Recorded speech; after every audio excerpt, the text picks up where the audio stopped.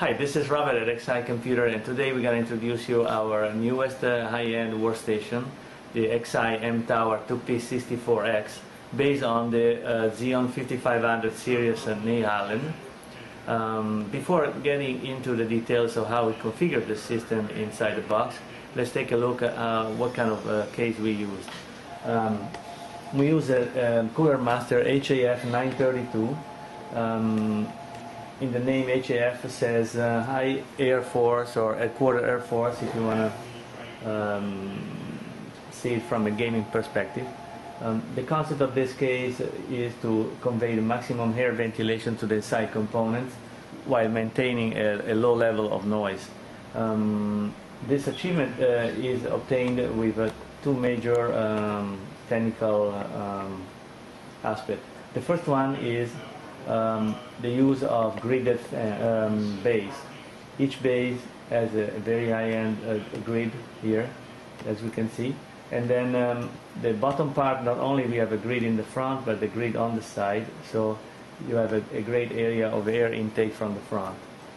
Uh, the second um, um, achievement is, uh, is obtained using big fan. Uh, we have three 23 centimeter fans, um, one in the front, uh, taking air inside, one on the on the left hand side of the case is again the 23 centimeter fan taking air inside um, against the video card. So that allows to use uh, multiple video cards high end and still keep it cool, like two, three video cards on SLI mode or crossfire configuration.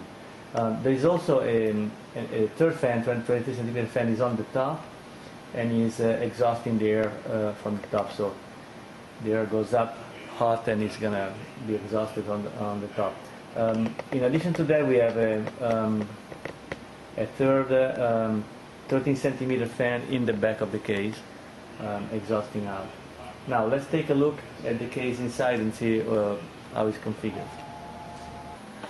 Okay, here we go. Uh, we open the case and we can see inside. Um, first thing, the two CPUs, the Xeon um, um, 5500 series that we use here is the Xeon 55X 5570s. Those are um, relatively high clock speed, uh, 2.93 gigahertz. Um, there's also a version available at uh, uh, 3.2 tops for the time. Um, those um, those Xeons are uh, each one of them have their own on-chip memory controller.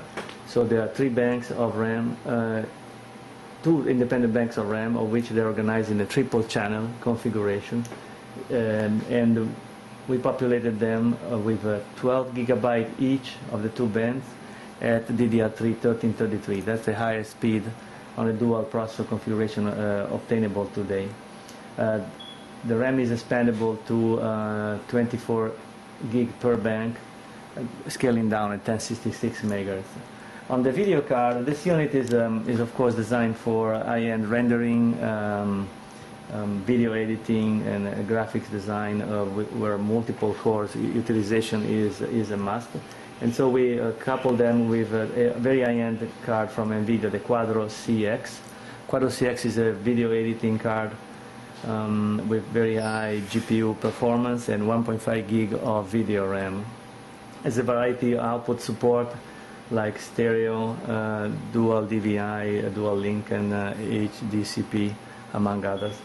And um, also the, the disk throughput is achieved here with a RAID 0 configuration of four um, Western Digital Velociraptor 10,000 RPM drive relatively inexpensive but very, very, very well efficient, efficient for this utilization. Um, they gives around 600 uh, gigabyte of uh, gross capacity.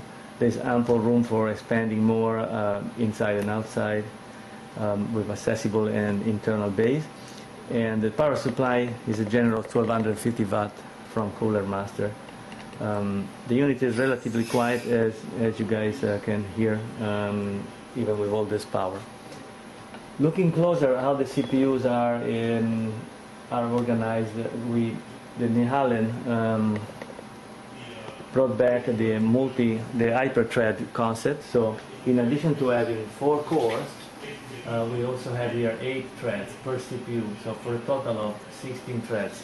This is particularly uh, important application like Photoshop and, uh, and rendering applications.